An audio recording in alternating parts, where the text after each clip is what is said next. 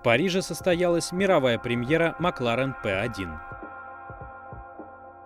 Новый суперкар приходит на смену McLaren F1, выпуск которого был остановлен в 1998 году. Как говорят самой компании, McLaren P1 — это самый технологически совершенный автомобиль на планете. Суперкар изготовлен с широким применением углепластика, титановых и магниевых сплавов. Именно поэтому машина получилась легкой и весит менее 1300 килограмм. В движение автомобиль приводит силовая установка на основе V-образной восьмерки 3.8 и формульной системы рекуперации энергии KER с мощностью около 960 сил. По предварительным данным, разгон до сотни займет чуть больше 2,5 секунд, а максимальная скорость составит около 390 км в час.